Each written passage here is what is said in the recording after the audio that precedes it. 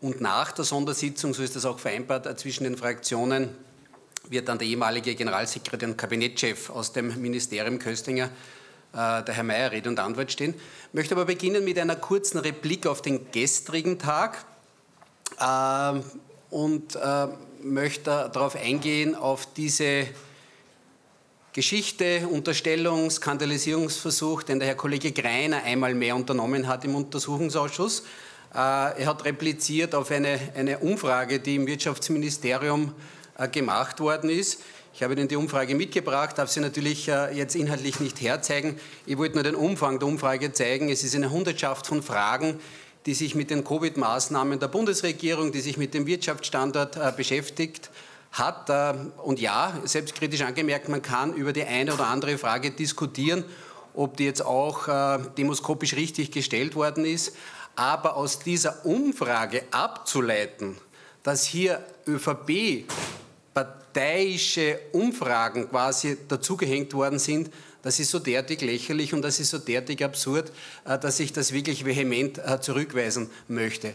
Einmal mehr zeigt sich, dass halt hier der Kollege Greiner mit Unterstellungen, mit Skandalisierungen agiert. Für mich spannend war, wenn ich mir dann die Medienberichterstattung angeschaut habe, dass das auch in der Medienwelt ganz unterschiedlich wahrgenommen worden ist. Manche Medien haben dieses Thema aufgegriffen, andere gar nicht. Meine Bitte, die ich äußern will in diesem Zusammenhang, wenn man Fragen zu diesen Themen hat, dann würde ich auch gerne unsere Meinung zu diesem Thema kundtun. Und noch einmal, es ist geradezu lächerlich, aus dieser Studie abzuleiten, dass hier irgendwelche ÖVP-parteipolitischen Umfragen hineingepackt worden sind. Also das weise ich auf das Schärfste zurück. Und ist halt einmal mehr dieser Skandalisierungsversuch, den wir vom Kollegen Greiner ja mittlerweile sehr gut erkennen. Ähm, zur äh, Kollegin, äh, zur, zur Frau Bundesminister Außerdienst Köstinger. Äh, bemerkenswert, wie gesagt, dass sie genau vor einem Tag, äh, genau vor einem Jahr schon im Untersuchungsausschuss war. Das ist mir ein großes Anliegen und da richte ich auch einen Appell, dass wir nicht wieder genau die gleichen Fragen, die wir vor einem Jahr gestellt haben, heute wieder stellen. Weil was wird passieren? Die äh, äh, Frau Bundesministerin außer Dienst wird nichts anderes tun, als das Protokoll zur Hand nehmen und wird dann aus dem Protokoll vorlesen, nun auch nicht, weil ja sonst immer gleich auch der Vorwurf der Falschaussage im, im Raum steht. Ähm, insofern erwarten wir auch von den heutigen Befragungen ganz wenig Erkenntnisgewinn, weil äh, ja, der Untersuchungszeitraum sich ja auch auf den Zeitraum bezieht, wo die Frau Bundesministerin in Amt und Würden war. Ähm, ja, das ist für mich so das Wesentliche. Äh, einmal mehr ein Tag ohne wesentlichen Erkenntnisgewinn einmal ein Tag mehr, wo man halt probiert, prominente Auskunftspersonen in den Untersuchungsausschuss zu zitieren, um möglichst viel, Erkennt also um möglichst viel mediale Aufmerksamkeit zu bekommen aber vom Erkenntnisgewinn erwarten wir ganz wenig Inhalt. Vielen Dank. Bitte. Ich hätte eine Frage zu einem anderen Thema. Es war angeblich, es wird diskutiert, dass die Impfpflicht ausgesetzt oder ganz abgeschafft werden soll. Können Sie dazu was sagen? Äh, bin in diesen äh, Gespräch, in den Diskussionen sehr wohl involviert, weil es natürlich ein Thema ist, das permanent äh, diskutiert wird, auch in meinem Wahlkreis, kenne aber den aktuellen Verhandlungsstand zu diesem Thema nicht.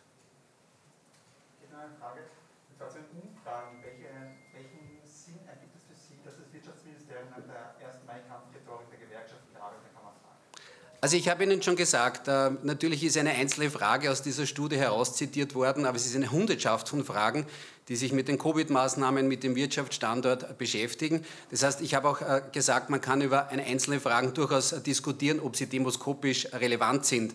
Aber daraus abzuleiten, dass damit eine ÖVP-Parteiumfrage finanziert worden ist, ist absurd und lächerlich. Gut, vielen Dank. Darf ich übergeben? Bitte.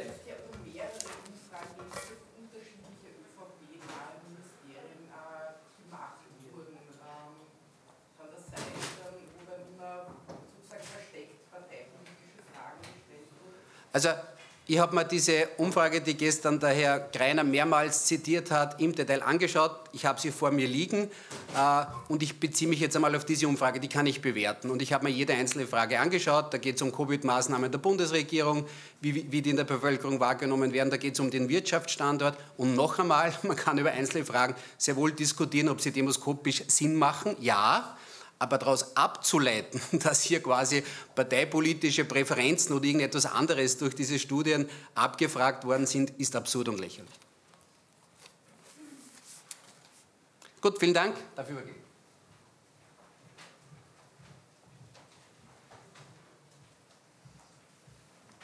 Ja, auch von meiner Seite einen äh, schönen guten Morgen.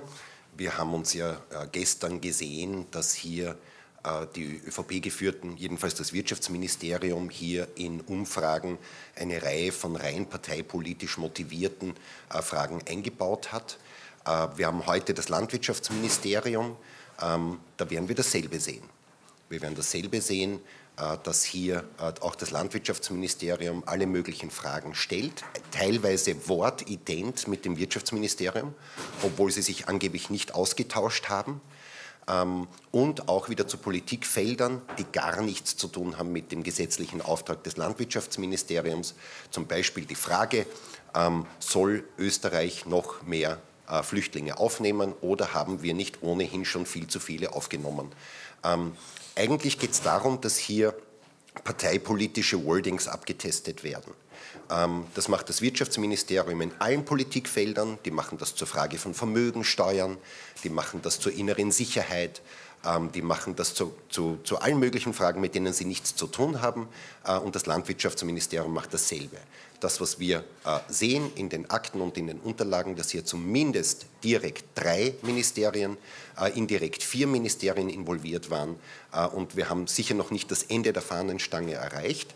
Äh, dass hier konzentriert die ÖVP die Steuergelder von mehreren Ministerien verwendet, um äh, parteipolitisch motivierte Umfragen und Umfrageserien ähm, herzustellen. Und am Ende des Tages äh, hat die ÖVP diese Daten und die ÖVP benutzt diese Daten.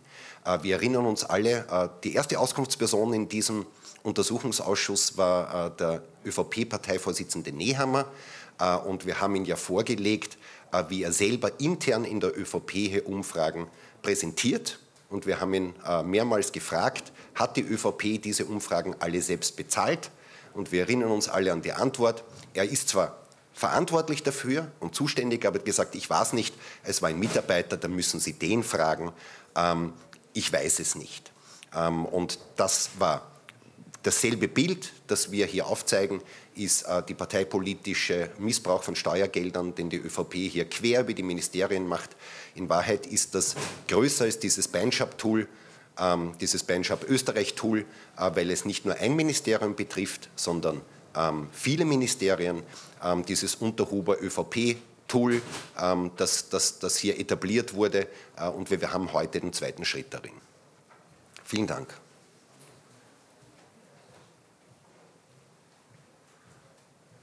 Jetzt also Kai-Jan Kreiner, der Fraktionsführer der SPÖ, am Wort gewesen, davor auch schon der Fraktionsführer der ÖVP und jetzt sind wir Nina Tomaselli der Grünen.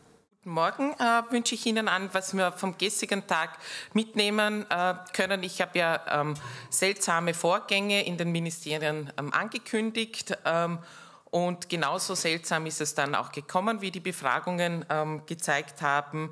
Ähm, da geht es beispielsweise um eine Pressekonferenz, die 22.000 Euro gekostet hat. Es ist für uns nicht nachvollziehbar, wieso das nicht die eigene ähm, Öffentlichkeitsarbeitsabteilung ähm, organisiert hat. Da haben wir andererseits eine Studie, eine Nona-Ne-Studie von McKinsey äh, über äh, Klimaschutz über 128.000 Euro, wo in der Sie vor allem Stehsätze ähm, finden, die in jedem guten Umweltleitbild ähm, einer Kleinstgemeinde auch zu finden sind.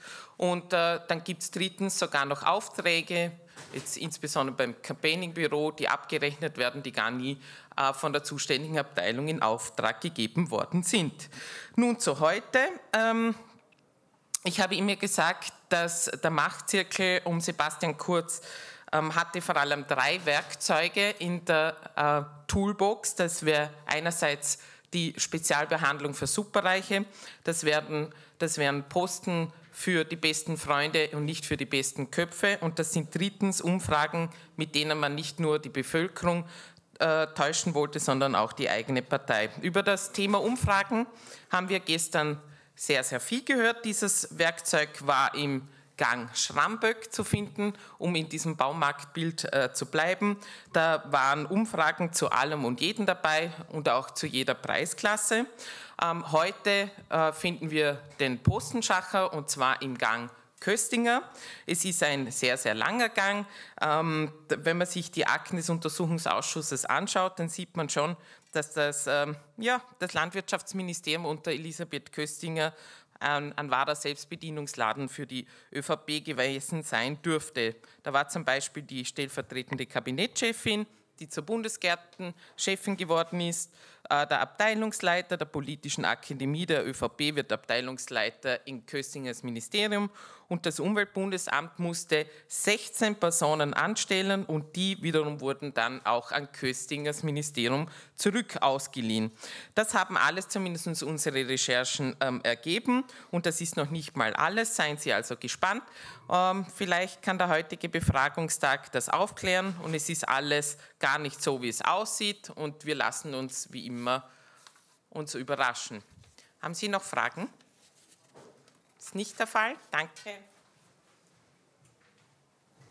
Vorerst also keine Fragen für die Fraktionsführerin der Grünen, nämlich Nina Thomas-Selli. Vorher bereits am Wort auch die ÖVP, die SPÖ und jetzt die Grünen. Wir warten jetzt auf das Statement der FPÖ bzw. der NEOS, wer jetzt zuerst auch an den Pult tritt. Und wir sehen hier die FPÖ, nämlich Susanne Fürst am Wort. Wir haben ja heute nicht nur den Untersuchungsausschuss, sondern auch die Sondersitzung, welche von der Bundesregierung einberufen wurde. Interessanter Termin, da zum einen ja bekannt war, dass uns Bundeskanzler Nehammer heute wieder nicht beehren wird im Parlament, weil ja schon beim Ansetzen der Sondersitzung natürlich bekannt war, dass er beim EU-Gipfel in Brüssel weilen wird. Aber die Jugendstaatssekretärin Claudia Plackholm ist ja, glaube ich, jetzt schon versiert in seiner Vertretung. Und zum anderen wird natürlich die Sondersitzung sehr gut ablenken von der Aussage von äh, Ex-Landwirtschafts- und Tourismusministerin äh, Elisabeth äh, Köstinger. Ähm, wir haben ja gestern schon gesehen ähm, bei, im Wirtschaftsministerium von der Frau Schramböck, die zwar nicht da war, aber ihr Kabinettschef hat ja ausgesagt, dass hier das Geld äh, sehr locker saß. Da wurden schon Hunderttausende Euro hier ausgegeben, auch für Studien äh, mit dem konkreten Inhalt zum Beispiel, dass hier ein, ein Leitbild erstellt wird für das Wirtschaftsministerium. Und da ging dann das Geld, profitierte davon eine gewisse Frau äh, Kamersin. Und hier ist die Frage, ob dieses System hier auch im Landwirtschafts- und Tourismusministerium von Frau Köstinger Einzug gehalten hat. Genügend Verdachtsmomente gibt es für sozusagen Thema üppige Querfinanzierung von ÖVP-nahen Organisationen. Das heißt, wir haben hier folgende drei Themen. Zum einen einmal das aktuell aufgetauchte äh, Thema von völlig überteuerten PCR-Testprogrammen für den Tourismus, wo ein Test sage und schreibe 70 Euro gekostet hat. Und da ist die Frage, wer hat davon profitiert, welche Agentur ist sie auch im ÖVP-Umfeld äh, zu finden. Da gibt es genügend Anhaltspunkte. Das nächste Thema ist auch schon medial ja kolportiert worden, einfach als Beispiel auch für äh, Verdacht der illegalen äh, Parteispende. Diese äh, Parteispende Spende von 43.000 Euro des Landwirtschaftsministeriums unter Frau Köstinger für den steirischen Bauernbund Ball. Ähm, Frau äh, Köstinger ist ja nicht nur in der ÖVP, sondern gerade auch im Bauernbund äh, groß geworden, auch langjährige Vizepräsidentin des Bauernbunds. Sie saß sozusagen hier auf beiden Seiten an der vergebenden Stelle und auch an der empfangenden Stelle und müsste natürlich gerade auch als ehemalige Generalsekretärin 2017 äh, bis 2018 ganz genau wissen, wie heikel es ist und wie genau man aufpassen muss bei der Spendenvergabe und welche hier rechnungshoffpflichtig sind und nicht. Und äh, es gibt auch weitere äh, Geldflüsse, einen viel erheblicheren Betrag noch und ein, denke ich, auch noch den Verdacht einer noch äh, vorwerfbareren Handlung, dass man sich hier an den äh, NPO-Corona-Fördertöpfen äh, äh, bedient hat, also das Geld, das für die Vereine eigentlich zur Verfügung gestellt worden ist, um ihnen die Einnahmen ähm, zu ersetzen, die ihnen entgangen sind, weil sie ja auch äh, zugesperrt wurden.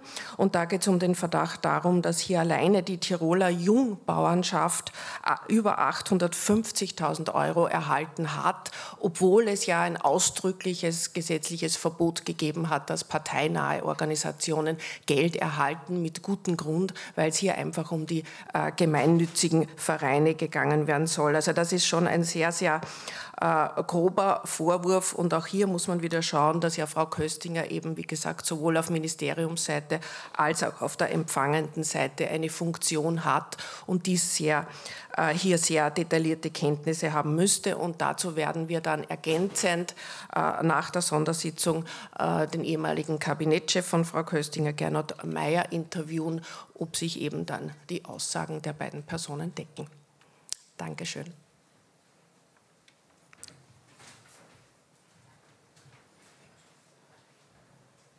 Soweit jetzt auch die FPÖ am Wort gewesen. Die, also Susanne Fürst hat sich jetzt auch bei ihrem Eingangsstatement zu Wort gemeldet. Jetzt fehlt eigentlich nur noch eine Partei, nämlich die NEOS. Normalerweise warten wir. Fraktionsführerin Stefanie Crisper, da ist sie schon. Von meiner Seite. Zunächst einmal zu gestern. Es war für uns äh, in der Wahrnehmung so, wie wir es angenommen haben. Das Wirtschaftsministerium, in dem die ÖVP über Jahrzehnte hinweg quasi ungestört regieren konnte, wurde als Selbstbedienungsladen missbraucht. Die Frage ist, ob wurde als Vergangenheitsform passt, wenn es um das Verhalten der ÖVP mit unserem Land geht. Das glaube ich nicht, denn wenn während des Urausschusses zur ÖVP-Korruption topqualifizierte Kandidaten zur RTR verhindert werden, bei der Nachbestellung eines Volksanwaltes pur parteipolitisch vorgegangen wird und auch die KOFA-Geschäftsführung ÖVP-nah besetzt wird, dann kann man sich sicher sein, dass es genauso weitergeht, wie wir es hier im Ausschuss erfahren müssen. Wenn wir nicht endlich die Regeln ändern und das parteipolitische Selbstbedienen verhindern. Was müssen wir dazu ändern? Und dazu komme ich zu gestern. Gestern wurde klar, dass die ÖVP Generalsekretäre installiert mit Weisungsbefugnis über alle Beamtinnen und Beamte ohne einen Tag Erfahrung im Ressort. Und ich glaube, wir haben gestern auch wahrnehmen können, dass es den eigentlich nicht braucht. Das heißt, wir wiederholen unsere Forderung, dass die Generalsekretäre, ohne die das Land sehr gut, sehr lange ausgekommen ist, abgeschafft werden. Ich glaube, wir werden heute bei Generalsekretär Mayer noch eine Steigerung erleben. Den hat nämlich Köstinger direkt aus der Bundespartei geholt, also mit überhaupt keiner Erfahrung in einem Ministerium. Was müsste man noch ändern? Weil wenn die Spitze so auf Partei gestellt ist, dann wird darunter auch dementsprechend gearbeitet. Das haben wir gestern auch miterleben müssen. Aufträge werden dann nach freundlichen Gesprächen mit dem Generalsekretär oder gleich direkt aus dem Kabinett vergeben. Das Vergaberecht hat hier anscheinend überhaupt niemand interessiert, weil eben vor selbst gewählten Kabinettsklausuren es plötzlich dringend nötig war, hier das persönliche Image der Ministerin abzufragen. Und es war für mich schon verstörend, dass der stellvertretende Kabinettschef überhaupt kein Problembewusstsein hatte, dass das eher parteipolitisch als sachlich gerechtfertigt wäre, hier Steuergeld auszugeben. Und dann gibt es Aufträge ohne Ausschreibung, ohne Vergleichsangebote. Und das, obwohl der Rechnungshof schon zum erneuten Male 2018 schon kritisiert hat, dass bei Direktvergaben keine äh, Vergleichsangebote eingeholt werden. Wie kann man das ändern?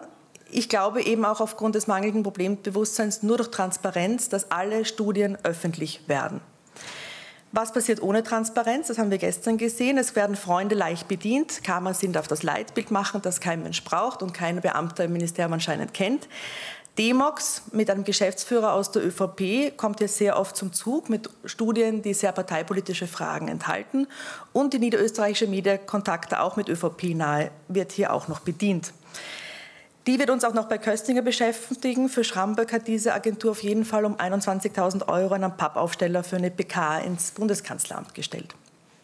Was passiert auch ohne Transparenz? Die ÖVP kann eben Interessen verfolgen und hier Fragen, die pur den parteiischen Interessen dienen, ähm, in Studien einfließen lassen und merkt nicht einmal, was sie hier tut.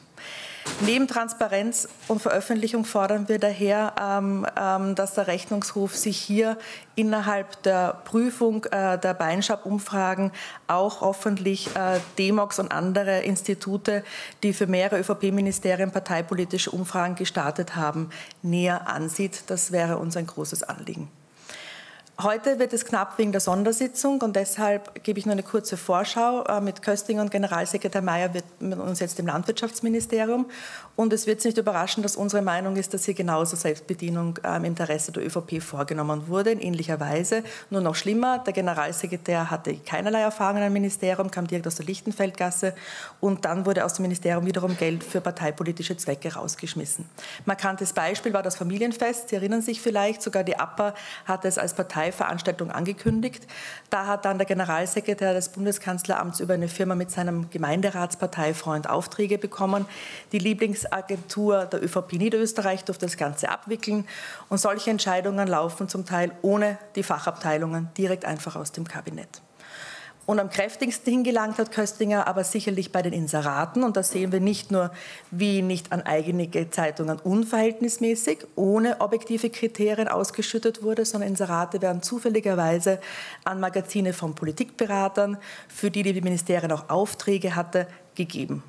Und Inserate werden sogar direkt genutzt, um wieder Gelder in Richtung der Partei zu bringen, in den Bereich der ÖVP und ihrer vielfältigen Bünde und Vereine. Und dementsprechend geht es entgegen der Meinung von Kollegen Hanger heute nicht um Dinge, die schon aus dem Ibiza-USA bekannt sind, sondern um neue Fragen zu dem neuen Untersuchungsgegenstand des laufenden Untersuchungsausschusses. Danke.